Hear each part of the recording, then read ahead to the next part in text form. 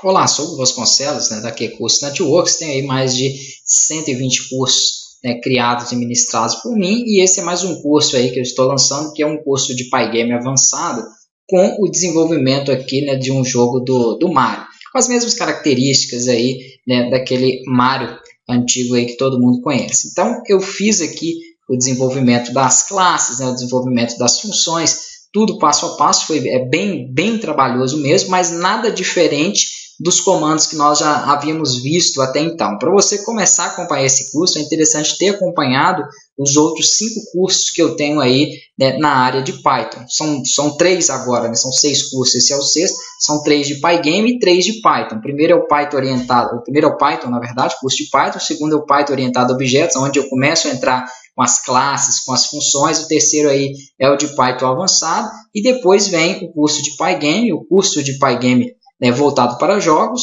e esse agora que é o Pygame avançado. Por que, que é interessante você ter?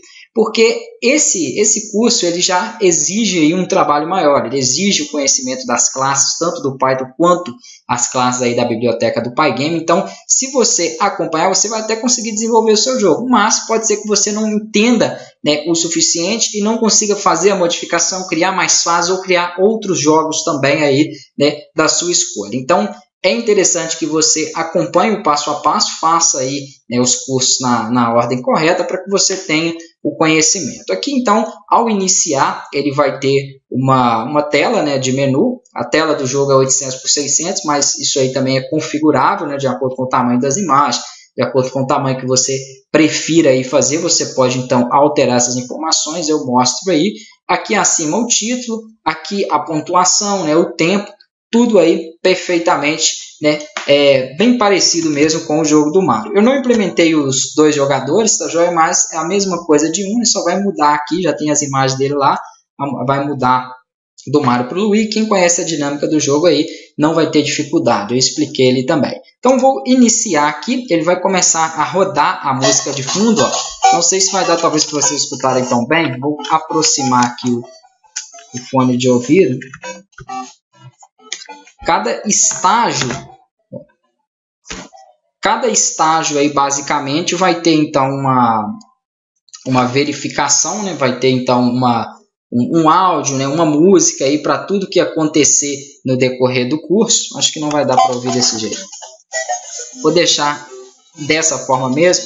Né? Depois vocês vão conseguir visualizar. Vai ter os inimigos, colisão, tudo como no jogo. Vai ter aqui os tijolos, né? Onde eu vou ter em alguns cogumelos, vou ter a estrelinha que dá imunidade a ele, vai ter aí a, aquela florzinha que faz com que ele possa jogar objetos aí nos inimigos. Então, assim, bem parecido mesmo com o, o Mario mesmo, aí que todo mundo já conhece, ou que eu acredito que já tenha jogado. Colidiu, ele vai diminuir, ele vai voltar para o normal de antes. Você vai poder selecionar essas opções de gravidade, velocidade do pulo. Tudo isso aí é 100% configurável. Ver se eu chego até uma etapa aqui para poder mostrar um pouco mais para vocês, mas é basicamente isso aqui mesmo, né? Tem as colisões, tem aqui ah, o momento em que você perde né, o jogo. Ixi, fui ali. Então aqui eu vou dar um pause, vou avançar um pouquinho mais ele para poder mostrar uma outra etapa para vocês. Aqui, por exemplo, tem a, a parte da florzinha. E se eu capturo ela ali, ó, eu consigo então utilizar uma das teclas que nós configuramos, que foi a tecla S, para poder disparar, assim como tem no, no jogo comum mesmo. Ó. Aí você vai selecionar velocidade, gravidade.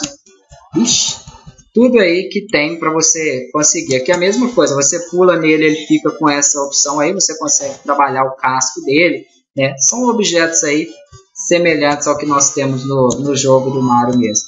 Tem a, a estrelinha também, né? vou ver se eu consigo aqui pegar ela, mas aí ela vai dar imunidade, aquela mesma forma. Então tudo isso é programado com as classes que eu já tinha mostrado para vocês anteriormente. Esse, esse curso foi basicamente colocando em prática tudo aquilo que eu já tinha passado. Aqui vai ter o, a bandeirinha de final da fase.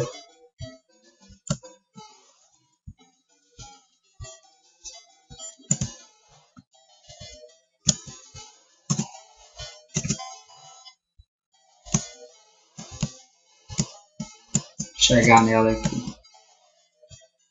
Aqui. e quando ele tocar, ele vai dar a animação do efeito da bandeira, né? Vai ter o castelinho, vai subir a outra bandeirinha e as músicas aí vão passando, né? Passo a passo. Como não tem a outra fase, eu pus para ele voltar na tela inicial. Então ele vai guardar a pontuação que você fez, né, mostrar aí ah, as opções. Se você fizer mais um nível, é só então pedir para ele carregar o segundo nível e dando sequência. Então, espero que vocês acompanhem, gostem né, do curso e consigam também aí e façam implementações e me enviem, que eu sempre gosto de ver.